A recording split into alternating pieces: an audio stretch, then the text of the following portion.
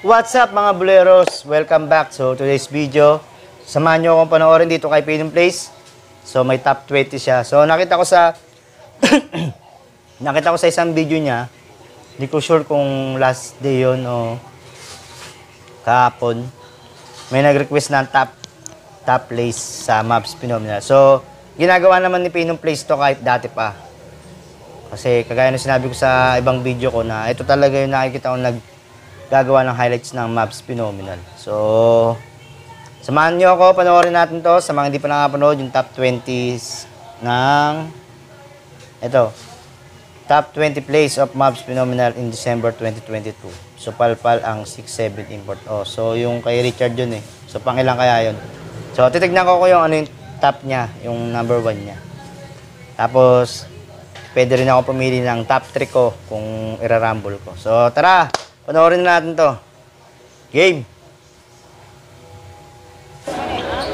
Top 20. Uy, na... Uh, uwi! Pinauwi ni Richard eh. Uwi! Hindi pwede sa mga matatangkad sa'yo. Oh! Ganda ng ikot ni Carlo doon.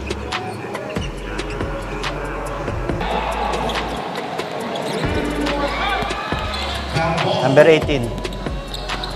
Bang! Sayang. Butatan butatan naman eh. So, ewan ko lang ah, para sa akin lang ah. Kung alam nyo na malapit na yung bantay nyo, medyo bitinin nyo yung talon nyo or yung tira nyo. Medyo bigla yung konting slow mo. Kasi yung tendency nun talaga, tapaling kayo eh. Pero kung medyo bumagal kayo, magi, magdadalawang isip niyan yung talon niyan kung tatalon na siya o hindi pa. So, ewan ko lang din ha, nasa instinct din kasi ng mga player yan eh, yung mga ganong, ano, mga galawan. So, pwede niya pang ilipat sa kaliwa yun eh. Pag tira ng gano'n. O kaya ikot niyang gano'n. Pagka medyo bumagal siya. So, na natin yun. Number 17. Oh! Ganda na ginawa ni Nem doon.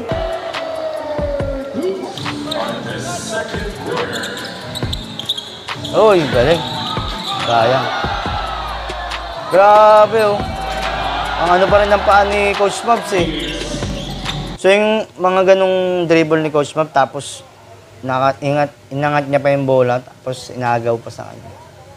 Medyo alanganin yun na kasi may injury na siya sa tuhod eh. Pero ang lakas pa rin ng loob ni Coach Mab eh. Iba pa rin talaga pagka, yun yung sinasabi ko eh. Kahit tumanda ka na, or magkaedad ka na sa basketball, kung magaling ka nung kabataan nandoon pa rin yun. Pero yung bilis, siyempre, tsaka yung resistensya, eh, hindi na ganon. Sobrang layo na ng diferensya. Pero yung galaw, ganun nandoon pa rin. Yung diskarte nandoon pa rin. Kaya naniniwala ako na magaling talaga si Coach Mobs. Kasi, ayun nga, kahit na na-injure na siya, ano na rin to si Coach Mob, 30 plus na rin to eh. Medyo matanda na yun sa basketball eh, 30 plus. So, ayun lang. So, tuloy natin. Oh!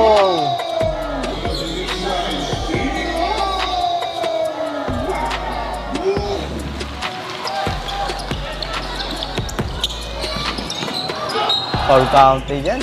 Body-body talaga oh. Ayun, liit. liit ah. Grabe po po eh.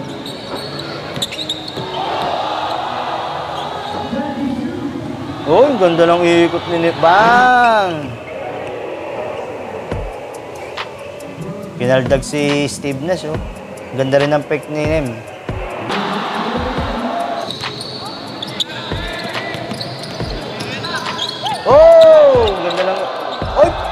Grabe, nilipat sa kanan.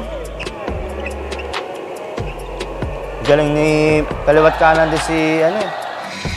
Si Ken Sanchez eh. Bang! Ang baba ng ring kay Poy Poy.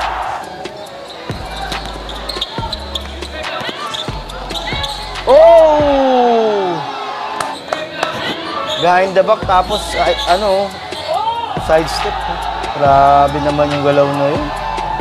Mapapa mapapa mapapapalakpak ka talaga eh. Kasi sa mga larong liga, mga malilit na liga lang naman, wala nang sumasalpak, 'di ba? Yung mga ganong galaw yung mga pinapalakpakan. Yung ginawa ni Poy Poy doon. Galing, magaling. Stevens, five to shoot. Step inside.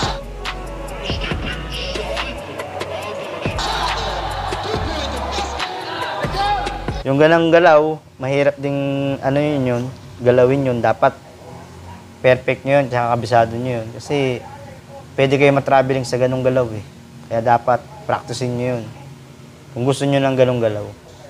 Five, second shot. Bang! Grabing step back yun oh. Oh, Four point play.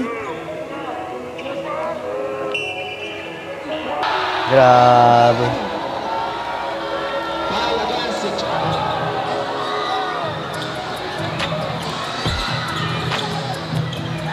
Oh! Walang yan pase. Ang galing na ni Poy Poy pumase.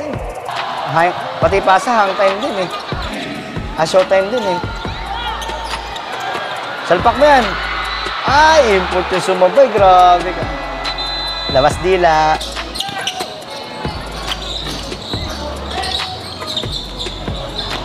Ugra! Ang galing ng ginawa ni Nim doon. Ang hirap na.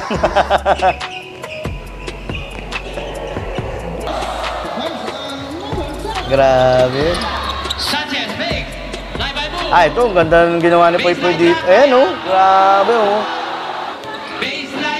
Umupo sa air. Baboy ang import.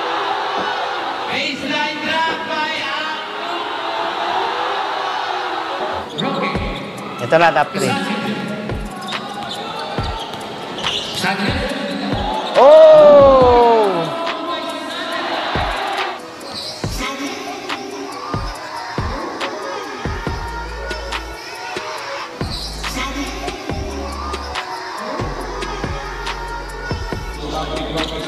So yung mga hellball na, na, na ginagawa ni yung ginagawa ni Ken Sanchez, yung pang Hesi, tinatawagan ng ano yun, eh, lifting dati yan tawag doon. Lifting. So ngayon hindi na pinapansin masyado yun. Kaya yung mga bata na nakaka natuto lang na kailan lang natuto na sabi traveling or double dribble yung ganun. Hindi. Marami may mga gumagawa na niyan dati. So kasi ako na experience ko ginagawa ko rin dati yan. Pag nag-hesi. So hindi naman ako tinatawagan. So hindi ano yon, depende na lang hindi traveling yon or double dribble. Depende na lang kung sobrang tagal pag ano mo bago ka humakbang ulit mag-dribble. Yun, pwede yun. Traveling or double dribble. Or lifting kung tawagin dati. So, tuloy natin. Oh! Dulas. Tapos, ang ganda pa ng finish ni Roque, no? Ang Dulas eh.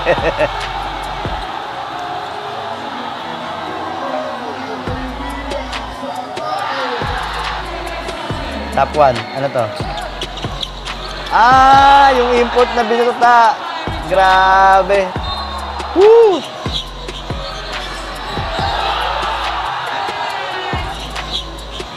Grabe ka. Woo! Grabe yung ginawa ni Richard dito eh. Grabe. So, hanggang doon na lang yung video na yun. Para sa akin, top 1 yun. Ako rin, top 1 ko rin yung kay Richard.